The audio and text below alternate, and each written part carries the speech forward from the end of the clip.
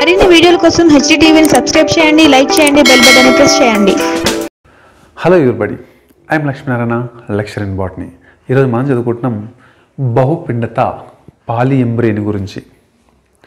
బహుపిండత అంటే ఒక విత్తనంలో ఒకటి కంటే ఎక్కువ పిండాలు ఏర్పడినట్లయితే దాన్ని బహుపిండత అని అంటారు.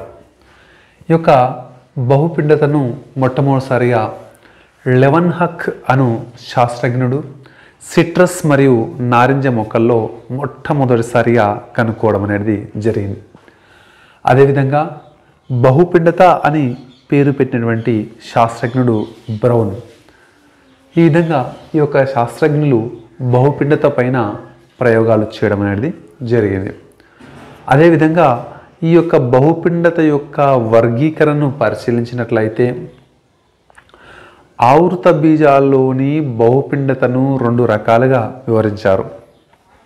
అవి ఒకటి యాదృచ్ఛికంగా ఏర్పడే బహుపిండత అని అదేవిధంగా ఉత్ప్రేరిత బహుపిండత అని చెప్పేసి రెండు రకాలుగా చెప్పడం జరిగింది. యాదృచ్ఛికంగా అంటే సహజంగా జరగడం మొక్కల లోపల సహజంగా జరిగేటటువంటి బహుపిండత అనేది చూస్తాం. అదేవిధంగా ఉత్ప్రేరిత బహుపిండత అంటే ఇది సాధారణంగా ప్రయోగపూర్వకంగా జరిపేటటువంటి బహుపిండత ప్రాక్టికల్ కొరకు చేసేటటువంటి కృత్రిమంగా చేసేటటువంటి బహుపిండత ఈ యొక్క యాదృచ్ఛిక బహుపిండత సహజంగా ఏర్పడుతుంది. ఈ యొక్క యాదృచ్ఛిక బహుపిండత ఎర్నస్ట్ అను శాస్త్రజ్ఞుడు దీన్ని రెండు రకాలుగా వివరించాడు. ఈ విధంగా ఎర్నస్ట్ అను శాస్త్రజ్ఞుడు ఈ యొక్క యాదృచ్ఛిక బహుపీడితను రెండు రకాలుగా వివరిస్తే మహేశ్వరి మరియు స్పోర్న్ అను శాస్త్రజ్ఞుడు వాటిని బలపరచడం అనేది జరిగింది. అదేవిధంగా ఈ యొక్క యాదృచ్ఛిక బహుపిండతలను తిరిగి రెండు రకాలుగా వివరించారు. ఒకటి నిజమైన బహుపిండత రెండో రెండవది మిథ్యా బహుపిండత. నిజమైన బహుపిండత అంటే నిజమైనటువంటి బహుపిండత. ఇక్కడ మిథ్యా బహుపిండత అంటే నిజమైనది కాదు. మిథ్యా అబద్ధం అని అర్థం. ఫస్ట్ నిజమైనటువంటి బహుపిండత అంటే ఏంటో తెలుసుకుందాం. అంటే ఇవి నిజమైనటువంటి పిండాలుగా రూపాంతరం చెందుతాయి. అవి ఏర్పడే విధానాన్ని బట్టి ఇక్కడ నాలుగు రకాలుగా వివరించడం జరుగుతుంది. వాటిలో ఒకటి విదలిత బహుపిండత రెండు సహకణ పిండాలు మూడు ప్రతిపాద కణ పిండాలు నాలుగు అబ్రపు బహుపిండత. ఈ విధంగా ఏర్పడే విధానాన్ని బట్టి నాలుగు రకాల బహుపిండతల గురించి మనం చెప్పుకుంటున్నాం. ఫస్ట్ విదలిత బహుపిండత. విదలించడం అంటే ద్వయస్థితికంగా ఉన్నటువంటి సంయుక్త బీజం ఇలా విదలనం చెందడం ఫలితంగా అవి సంయుక్త బీజం అనేది ముక్కలు ముక్కలుగా ఏర్పడి విదలించబడుతుంది. ఆ విధంగా విసిరివేయబడిన ముక్కలు ముక్కలుగా ఏర్పడ్డ ఆ ద్వయస్థితిక సంయుక్త బీజం నుంచి అనేక పిండాలు ఏర్పడతాయి. వాటిని విదలిత బహుపిండత అని అంటారు. ఎగ్జాంపుల్ హబనేరియా ఈలోఫియా లాంటి ఎగ్జాంపుల్స్ అదేవిధంగా సహకణ పిండాలు. ఇప్పుడు మనము ఏదైనా ఒక పిండ కోశాన్ని తీసుకున్నట్లయితే దానిలో స్త్రీ బీజ కణ పరికరం ఉంటుంది. అదేవిధంగా ప్రతిపాదక కణాలు ఉంటాయి అదేవిధంగా ధ్రువ కేంద్రకాలు కూడా ఏర్పడి ఉంటాయి.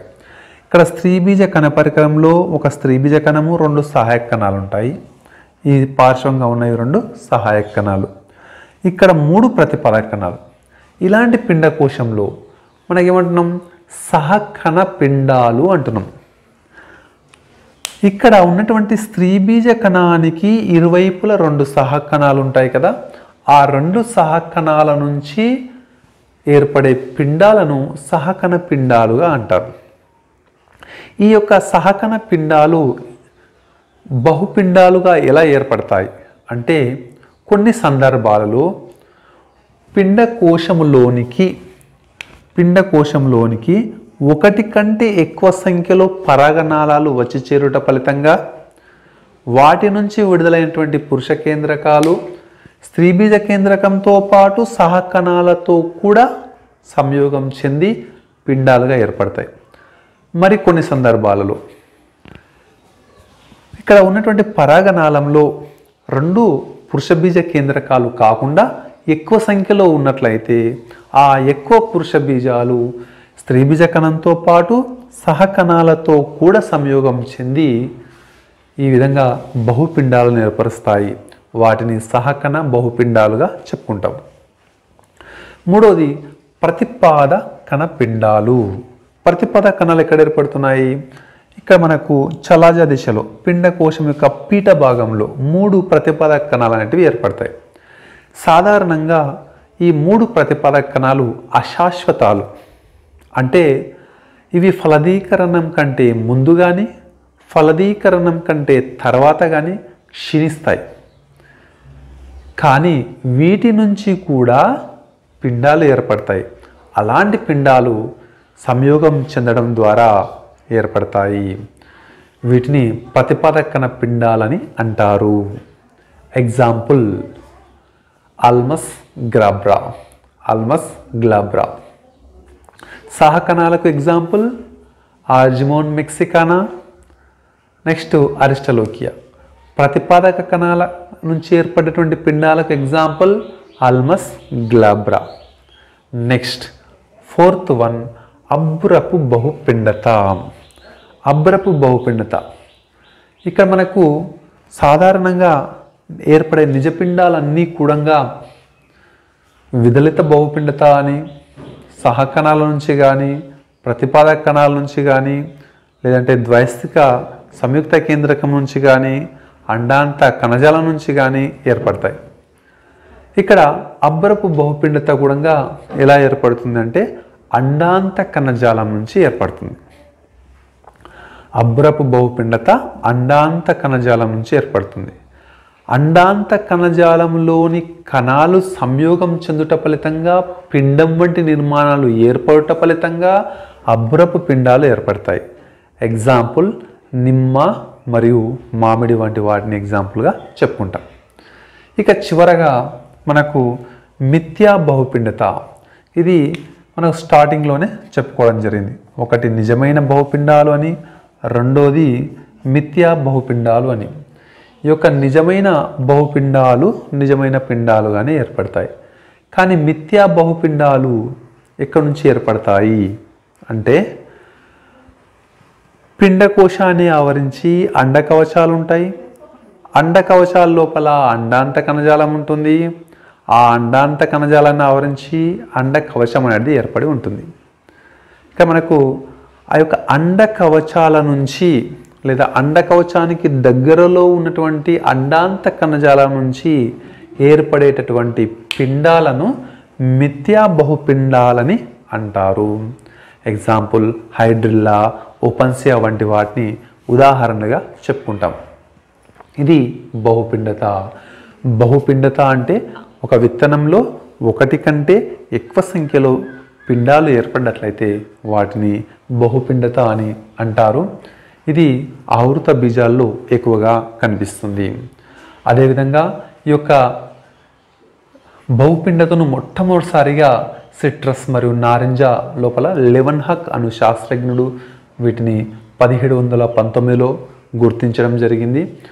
ఈ యొక్క బహుపిండత అని పేరు పెట్టినటువంటి శాస్త్రజ్ఞుడు బ్రౌన్ పద్దెనిమిది వందల యాభై తొమ్మిదిలో వాటికి పేరు ఇవ్వడం అనేది జరిగింది. ఇది బహుపిండత. ఈ బహుపిండతను మీరు గుర్తించుకోవాల్సింది కేవలం రెండే రెండు రకాలుగా గుర్తించుకోండి. ఒకటి నిజమైనటువంటి బహుపిండత మిథ్యా బహుపిండత. నిజమైన బహుపిండతలో ఈ యొక్క నాలుగు రకాలు. ఏంటివి ఆ నాలుగు రకాలు? ఒకటి విదలిత బహుపిండత సహకన పిండాలు ప్రతిపాదకన పిండాలు అబ్రపిండాలు తర్వాత మిథ్యా బహుపిండతకు కేవలం డెఫినేషన్ మాత్రమే చెప్తాం. ఏంటది? అండ కవచాల నుంచి అండ కవచానికి దగ్గరలో ఉన్నటువంటి అండాంత కణజాల నుంచి ఈ యొక్క మిథ్యా బహుపిండాలు ఏర్పడి పిండ కోశంలోనికి చొచ్చుకొని పోతాయి. ఎగ్జాంపుల్ హైడ్రిల్లా ఒఫెన్సియా ఇది బహుపిండత మరియు రకాలు. Thank you thank you for the watching subscribe on YouTube